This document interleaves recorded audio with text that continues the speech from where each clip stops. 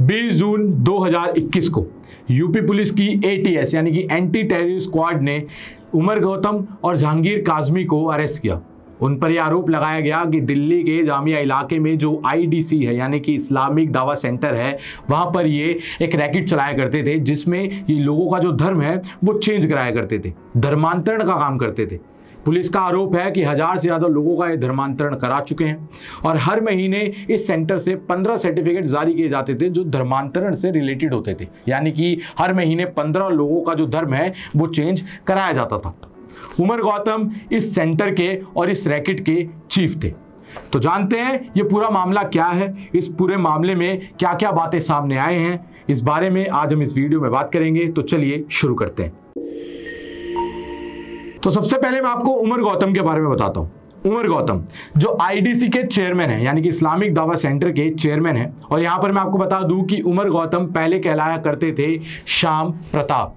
जी हाँ तीस साल पहले जब इनकी शादी हुई थी तो ये दोनों पति पत्नी एक राजपूताना फैमिली से बिलोंग करते थे। इनकी पत्नी बताती हैं कि जब ये श्याम प्रताप हुआ करते थे, तब ये बजरंग बली जी के बहुत बड़े भक्त हुआ करते थे। हर दिन, यानी कि हर मंगलवार और हर शनिवार ये मंदिर जाया करते थे, पूजा पाठ किया करते थे और प्रसाद चढ़ाया करते थे। उन्नीस सौ चौरासी में, जब ये अपनी पढ़ाई को लेकर, पढ़ने के लिए उत्तराखंड के पंत यूनिवर्सिटी में गए, वहाँ पर इनके हॉस्टल में जो इनका रूममेट था, वो था मुस्लिम, जिसका नाम था नाजीर, और वो इन्हें हर हफ़्ते अपनी साइकिल पे मंदिर ले जाया करता था। और एक दिन श्याम प्रताप ने अपने दोस्त से, यानी कि अपने मुस्लिम फ्रेंड से ये पूछा कि, तुम मुझे एक बात बताओ कि इतना डेलीगेटली तुम मुझे हर हफ़्ते मंदिर क्यों लेकर आते हो? जबकि तुम्हारा मंदिर से तो कोई लेना देना है ही नहीं। तब यहाँ पर नाजिर ने जो जवाब दिया, उससे इनकी पूरी की पूरी ज़िंदगी बदल गई। नाजिर ने कहा कि, मेरा धर्म मुझे ये सिखाता है कि मेरे हक में जितने भी लोग आते हैं, मैं उनकी देखभाल करूँ। और इस जवाब के बाद श्याम प्रताप की ज़िंदगी बदल गई और उन्होंने एक महीने के अंदर कुरान, बाइबल और गीता ये तीनों पर डाली। उनकी बीवी बताती हैं कि इसके बाद उन्होंने ये तय किया कि वो अपना धर्म परिवर्तन करेंगे। यानी कि अपना जो रिलीजन है, वो चेंज करेंगे, वो कन्वर्ट करेंगे इस्लाम में। और उसके बाद उन्होंने इस्लाम धर्म को अपनाया और मुस्लिम हो गए। और श्याम प्रताप से कहलाए उमर गौतम। उनकी बीवी ये भी बताती हैं कि 2002 में जब वो दिल्ली आए थे तो उन्होंने आईडीसी यानी कि इस्लामिक दावा सेंटर की स्थापना की थी, यानी कि उसको सेटअप किया था। और इसमें जो भी ऐसे लोग सामने से आते थे, जो अपना जो धर्म है, वो चेंज करवाना चाहते थे कन्वर्ट करवाना चाहते थे, उसमें उमर गौतम उनकी हेल्प किया करते थे। डॉक्यूमेंट से रिलेटेड सारे काम वो उनकी हेल्प के ज़रिए ही होते थे। इसमें उनकी पत्नी ने यह भी कहा है कि अब जो उन पर आरोप लगाए जा रहे हैं, ये सारे के सारे आरोप जो है वो बेबुनियाद हैं, सरासर झूठे हैं। यहाँ मैं आपको बता दूँ कि पुलिस ने यह भी आरोप लगाया है कि इस रैकेट की जो फंडिंग होती थी, इस कन्वर्जन रैकेट की जो फंडिंग होती थी, वो होती थी आईएसआई के थ्रू और इस आरोप को उनकी पत्नी ने सिरे से नकार दिया है। उन्होंने कहा है कि ये बहुत ही बकवास आरोप है। उनका जो फंड आता था आईडीसी का जो फंड आता था, वो उनके दोस्तों से, उनके रिश्तेदारों से और उनके वेल विशर्स से आता था, जो वो उन्हें सपोर्ट किया करते थे। और उन्हीं के फंड के ज़रिए आईडीसी चलता था। यहाँ मैं आपको बता दूँ कि 21 जून को जो प्रेस कॉन्फ्रेंस हुई थी, उसमें प्रशांत कुमार ने बताया था कि पुलिस को इस रैकेट के बारे में तब पता चला जब वो एक केस की इन्वेस्टिगेशन कर रही थी।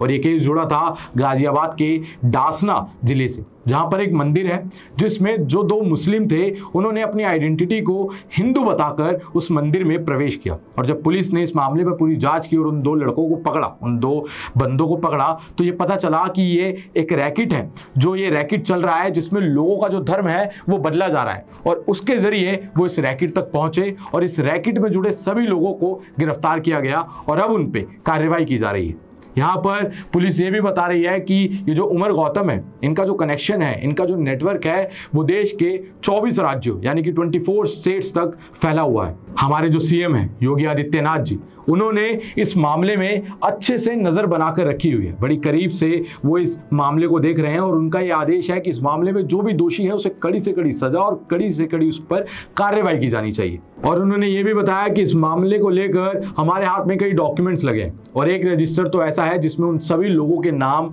पता और बहुत सी डिटेल्स शामिल है जिन लोगों ने अपना जो धर्म है, वो चेंज करवाया है। पुलिस के मुताबिक ये जो रैकेट था, ये ज़्यादातर महिलाओं, गरीबों और मुख बधिरों, यानी कि जो बोल सुन नहीं सकते, उनको टारगेट करता था। उनको बहला फुसला कर, उनको पैसा देने की लालच देकर कभी कभार उन पर अत्याचार करके उनका जो धर्म था, वो चेंज कराया करता था। साथ ही जो उमर गौतम है, उन पर यह आरोप भी लगाया गया है कि उनकी जो स्पीचेस हुआ करती थी, जो वो बड़े बड़े इवेंट्स में देते थे कॉलेजेस में देते थे स्कूल्स में देते थे, उसमें वो नौजवानों को अपना धर्म चेंज करने के लिए बोला करते थे। यानी कि एक संदेश दिया करते थे कि वो इस्लाम धर्म अपनाएँ। और इसके चलते भी उन पर कई आरोप लगाए गए हालाँकि इन सभी आरोपों को जो उनके परिवार वाले हैं, यानी उमर गौतम के जो परिवार वाले हैं, उन्होंने सिरे से नकार दिया है। उनकी पत्नी, उन्होंने कहा, ये हम भी जानते हैं और आप भी जानते हैं कि कोरोना काल में जो सरकार है, उसका कितना बड़ा फेलियर रहा है।